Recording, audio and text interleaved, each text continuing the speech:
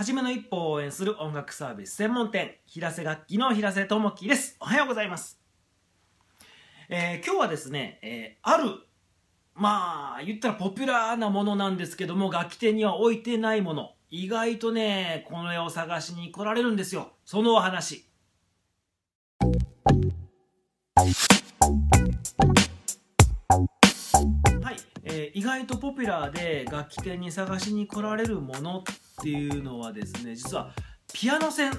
ていうもんなんです、えー、結構ねピアノ線もらえますかって言って楽器店に来られることがあります、えー、おそらくなんですけどもピアノ線っていうおっしゃってる方のピアノ線っていうのはホームセンターで売ってるいわゆるその番線ですね鉄の線のことだと思うんですね。で楽器店で、えー、置いてるピアノ線まああの置いてないとこがほとんどだと思うんですけども私調律師なのでいつも持ってます、えー、これがピアノの線っていうか、まあ、ピアノの弦です。見えるかな？こんな感じですね。いろんな太さがあるんですけどもこれがピアノの弦です。いわゆるそのギターの弦とか、えー、ハープの弦とかえ、バイオリンの弦とかと一緒でこれはピアノの弦。ます、えー、ピアノ線っていうのはこういうものじゃなくてですねもっともっと細いものだと思うんですよね、えー、おそらく、えこのピアノの弦は太いので、え結構先もとんがってて危ないので一般の方には応流はできないんですね。でもし、え売ったとしても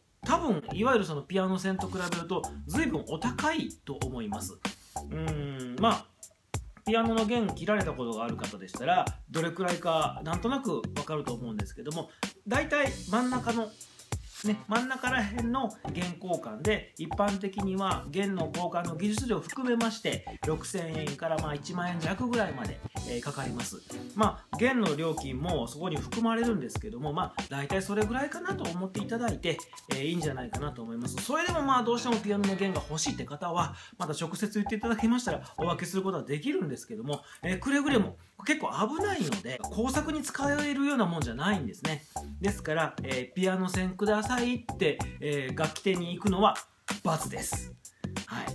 正しくはピアノの弦っていうかこれは一般的にはお売りしておりませんので、えー、どうかお間違いないようにしてくださいピアノ線はホームセンターに行っていただいたら売っておりますので、えー、お近くのホームセンターに行ってください以上今日はホームセンターの宣伝でございましたピアノの弦ですのでお間違いなく